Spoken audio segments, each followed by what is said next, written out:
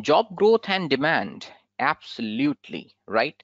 We are practical individuals. We do not learn something for sake of learning, right? We learn something on its pragmatic value, right? What is the practical value in learning this product, right? None of you would prefer to learn C at this moment. You will prefer to learn Python, right? Although C is the soul of computer science, but people learn Python. The reason, market value.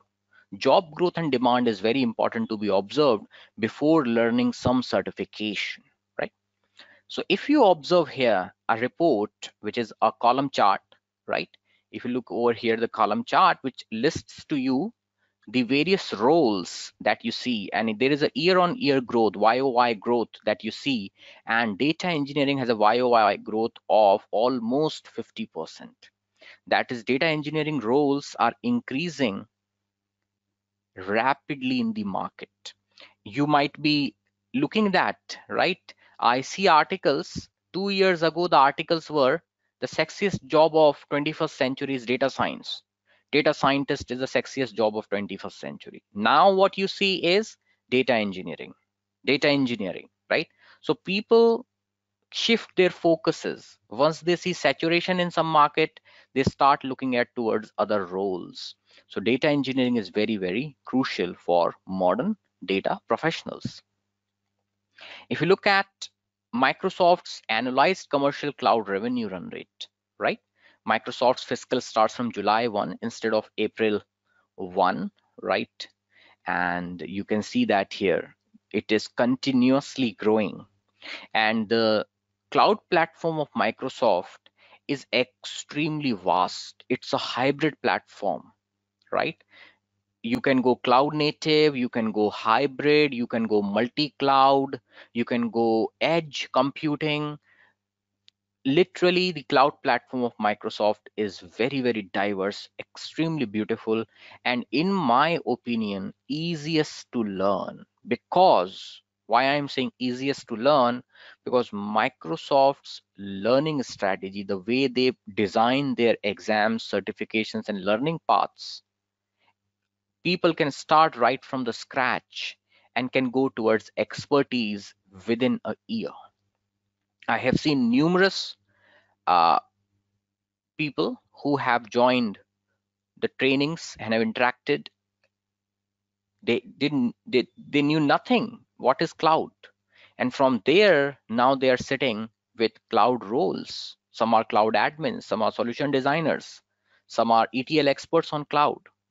So yes, cloud is the king of the jungle in the current moment. Job market is continuously increasing, right? If you look at the Gartner Magic Quadrant, you can clearly observe that in the Magic Quadrant for analytics and business intelligence platforms, Microsoft fulfills visionaries and the ability to execute and completeness of vision. So it is a business leader in the field of data engineering. And the most important proof of it, the proof that I can tell you that Microsoft is really the business leader is the product called as Databricks and Synapse Analytics, which is available on the Microsoft Azure platform. Databricks is available on other cloud vendors as well. But when you combine the two things, Databricks and Synapse Analytics, you are an unbeatable professional, right? Nobody can doubt your competency. Nobody can say that this individual cannot do this job profile. Not possible. So you, if learn, if you learn Databricks on the Azure platform and Synapse Analytics properly, the combination, the couple of this combination, this dipole is basically the king at this current moment. Yeah, remote jobs are also available. So if any one of you are interested to do remote jobs, you will find jobs in the United States, in the Gulf, maybe in the Australian region as well, right? We have most of my colleagues are working in Australia currently, right? They are Australians, right? And they work in the field of uh, data engineering and particularly on bricks and synapse. So jobs, whether you see it in United States, whether you see it in the United Kingdom, whether you see it in India, you see numerous open positions for data engineering job roles. if we were to ask the compensation that people deserve, now I happen to develop a regression model for predicting the salary of data engineers. We did a study, right? Because our day-to-day -day activity is to basically understand the numbers properly, right? Data. So me and my colleagues developed a regression model, bivariate regression model. I should say multivariate, there were multiple variables in it. And we studied that for various roles, data engineer, data scientist, machine learning experts, CRM people, uh, the solution designers, DevOps engineers, what is the kind of curve, right, regression line, which we can use in order to predict how their compensation will improve, compensation will go ahead as they progress in the career. So what is the fresher salary per year? How much increment do they get and model it properly. So DevOps engineering, data engineering, and solution architects and security engineers. These are currently the top four most lucrative domains. Security engineering, data engineering, data science, machine learning, and security engineering, data engineering, solution design, and your data science, right? And if you were to track a single number, this is just a rough estimate. It's 150K per year, right? That's a median salary, right? That is a second quartile. So that's the median.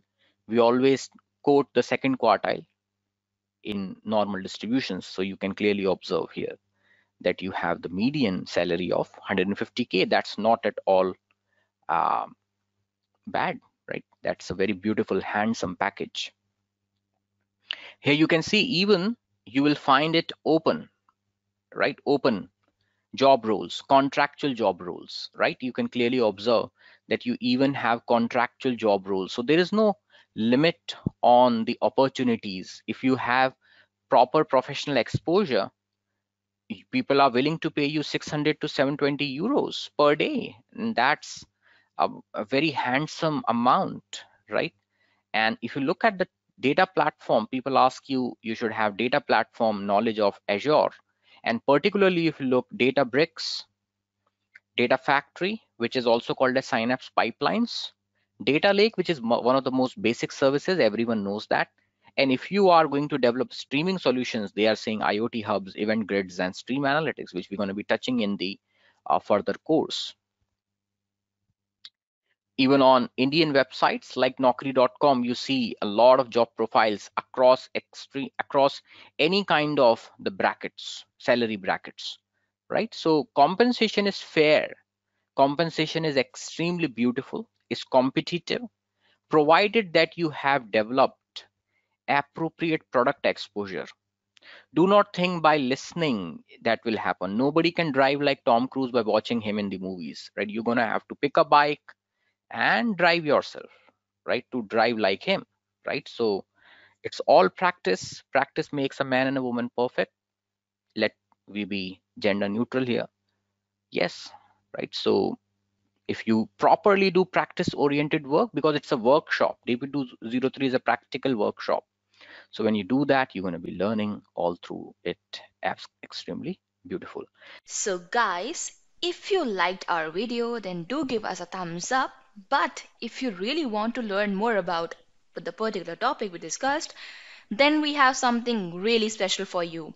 We have our free class on Microsoft Azure Data Engineer Certification, that is DP203, along with some question and answers where we'll be discussing about why is everyone working on data, importance of some Azure services you should learn, and many more things. So for that, all you have to do is just log on to k21academy.com forward slash Azure DE02 and after that you'll be seeing a screen like this.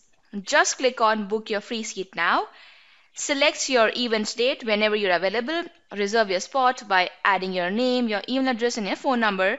and you'll be getting all the updates via mail. You'll be seeing this kind of window on extreme right. So you can save this link, add to your calendars, and I'll see you in the free class. Till then, keep hustling and take care.